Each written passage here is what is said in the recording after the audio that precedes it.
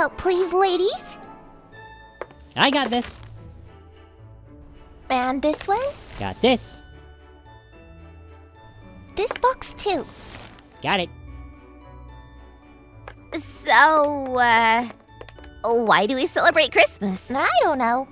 You don't know why you celebrate Christmas? Yeah. Christmas is Jebus's birthday. Important guy. Are you sure it was Jebus? Yep. Died year zero. Super important. Is that true? Oh, yeah, it's true. Jebus was really super important. Oh, actually, I think my dad met Jebus once. He wanted to, uh, make a deal with him or something. Wasn't that the 40 days and 40 nights in the desert thing? Yeah, Dad tried it for like a month or something, but it didn't work. So, how things work out for Jebus? Uh, um.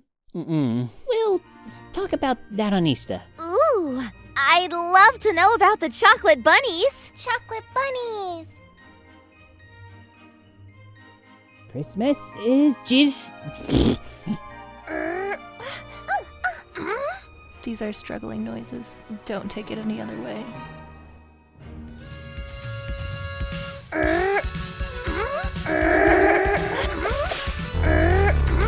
Squish that cat.